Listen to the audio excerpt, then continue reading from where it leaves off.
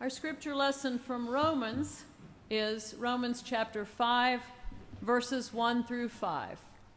The Apostle Paul writes Therefore, since we are justified by faith, we have peace with God through our Lord Jesus Christ, through whom we have obtained access to this grace in which we stand.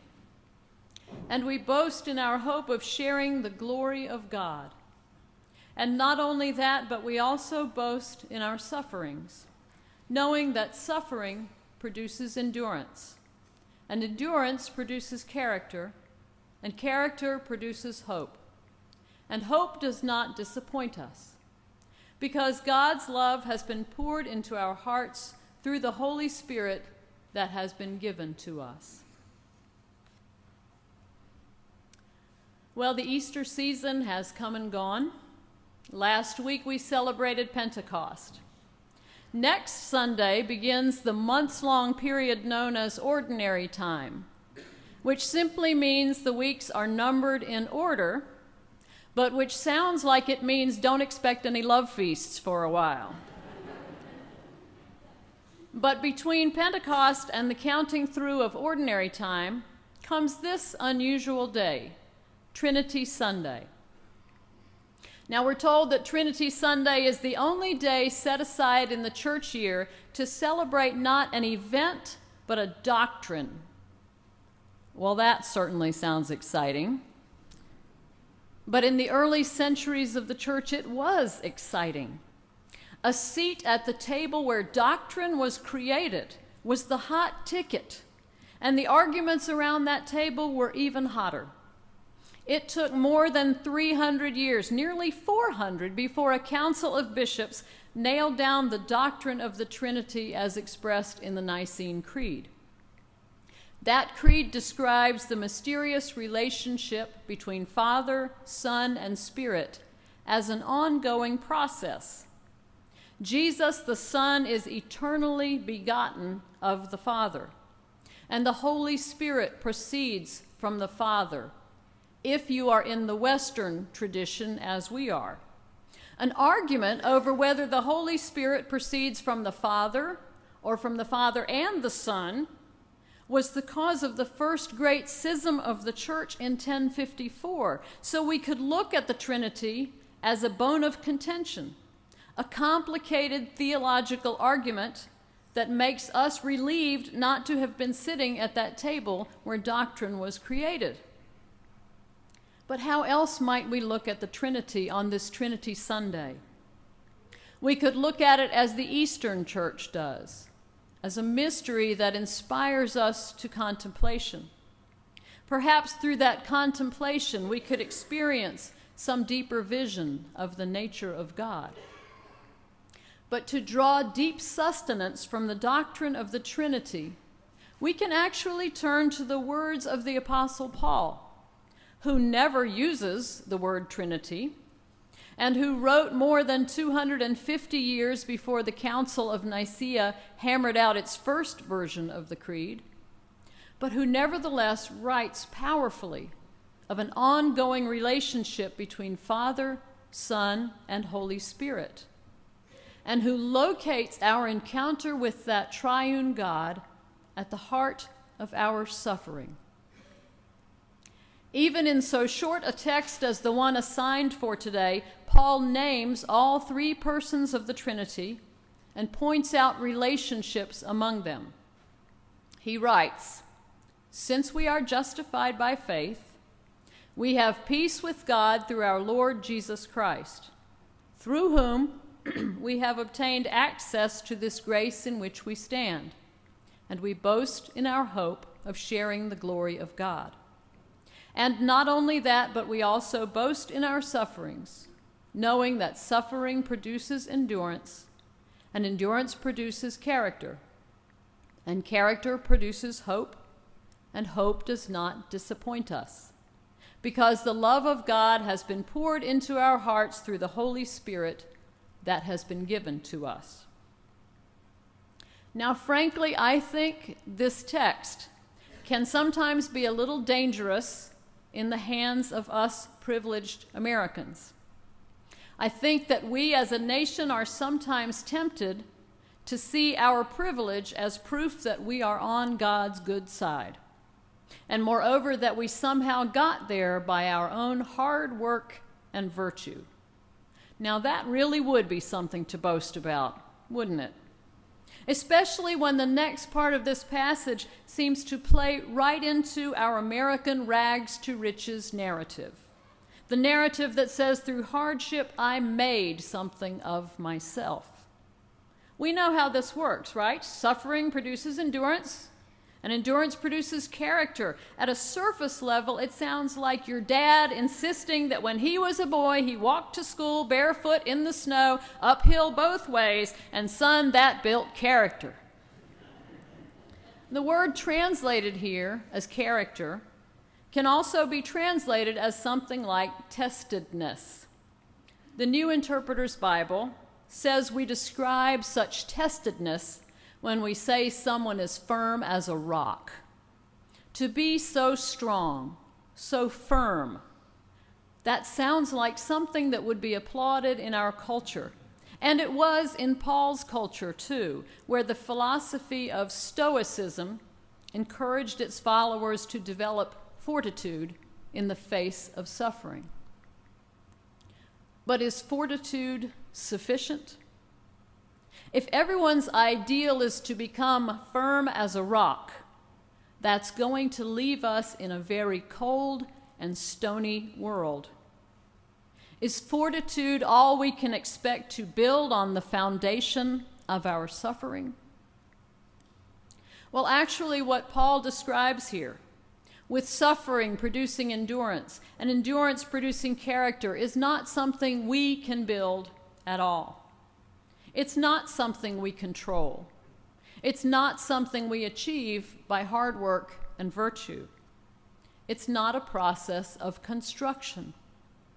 Construction would be a controlled application of external forces where you build something block by block. But the verb in Paul's passage is not builds or constructs. The verb is usually translated as produces. Paul seems to be describing not a mechanical, controlled, and external process like construction, but something organic, caused by natural forces, internal forces like birth. How would it change this sequence of events if you pictured suffering giving birth to endurance. Picture suffering all but turning itself inside out, pushing out in one explosive movement a new form, bearing the image of the first, but transformed into something new. Now imagine that this new form surrounds its source, like a ring of fire surrounding the sun, an emanation. In this picture, suffering is surrounded by the endurance which it has produced. And this new form, this new emanation, in turn produces another ring of fire, testedness. Now, testedness surrounds endurance, which surrounds suffering. And here is the crucial point the process does not stop with testedness. This point is what definitively separates Paul's vision from Stoicism or any other human attempt to construct a system for dealing with suffering. Suffering gives birth to endurance. Endurance gives birth to testedness. And testedness, finally, gives birth to hope. If suffering produced only endurance, or if endurance produced only testedness, then suffering might indeed leave us firm as rocks, but it would also leave us sitting firmly rock like in what we know. Whereas hope, as Paul tells us later in Romans, moves us beyond what we know. In Romans 8:24 he writes, "Hope that is seen is not hope. For who hopes for what is seen?" Hope allows for possibilities beyond what we know. Theologian Jurgen Moltmann says that hope alone takes seriously the possibilities with which all reality is fraught. Unimaginable possibilities exist within the unimaginable grace of God, within which, Paul tells us, we now stand because of Christ's death, and we boast in our hope of sharing the glory of God. In Paul's day and in Paul's language, boasting had no negative connotation as you and I understand it. Paul was not encouraging Christians to brag about their hope. The verb he uses might be better translated as celebrate. We celebrate our hope of sharing in the glory of God because hope surrounds our testedness, and testedness surrounds our endurance, and endurance surrounds our suffering. So ultimately, hope surrounds our suffering. And at the heart of our suffering is the cry that connects us to God. Two weeks ago, I had the great privilege of meeting with some of our confirmands to discuss their beliefs. They laid out those beliefs in an essay that they wrote as their long months of study came to an end. Aida Bell has given me permission to share with you a sentence from her essay. She wrote, I believe that suffering is a way to see God because when you are suffering, you ask for help from God. I think Aida sees what Paul sees that within the heart of our suffering is the desire to know God. And that desire for God seems to me the energy that fuels and sustains the process that surrounds our suffering with hope. We receive that desire from the Holy Spirit. As Martin Luther writes in his small catechism, I cannot by my own reason or strength believe in Jesus Christ my Lord or come to him, but the Holy Ghost has called me by the gospel enlightened me with his gifts, sanctified, and kept me in the true faith. And as Paul writes in our text today, the love of God has been poured into our hearts through the Holy Spirit that has been given to us. Now, that translation where I said the love of God, that differs from the New Revised Standard, but it's a literal translation and I use it on good authority. The NRSV translates it God's love, but the Greek says the love of God. And there is room to interpret it either as God's love toward us or as our love toward God. It makes sense that what the Holy Spirit places in our hearts is not God's love for us, but our longing for God, our desire for God, our love for God. As the Holy Spirit inspires us to reach for God, Christ provides access to God. And so we stand within God's grace in hope of sharing God's glory. Each person of the Trinity connects us to the other persons in a relationship that is an eternal procession, an eternal begetting, eternally surrounding us as hope surrounds our suffering. When I think of hope that surrounds our suffering, I think of a man I know named Ashley Sire, who has also given me permission to share his words with you today. I met Ashley in divinity school at Wake Forest. Today he's training, as I did, as a chaplain at Baptist Hospital. But before he began divinity school, he was a hospital patient diagnosed with leukemia. And here is what he wrote about a night during his chemotherapy. I was alone in my hospital room on the cancer floor. It was dark and silent. I was out of bed and walking around. The enormity of what I was facing and the side effects of treatment washed over me that night, and I was overwhelmed with grief. I tried to pray to God, but nothing came out. I guess I had so many burdens that they bottlenecked in my soul. I finally managed to talk to God, but what came out was a sigh. Not a sigh of relief or frustration, but a deep, guttural sound that came from the very bottom of my being. and contained each and every fear, worry, and dread that I was carrying. It was in that moment that I felt God's presence in the room with me. I knew that everything would be all right. I might not leave the floor, but things would be all right. In that time of suffering, how could things be all right? Ashley did not need to know how. What mattered at that moment was that his suffering was surrounded by the endurance it had produced. And the endurance was surrounded by the testedness it had produced. And testedness was surrounded by the hope it had produced. And because he was surrounded by hope, Ashley was standing in the presence of God. God was not standing in Ashley's presence. Ashley, surrounded by hope, was standing in the, in the presence of God, and the possibilities were endless.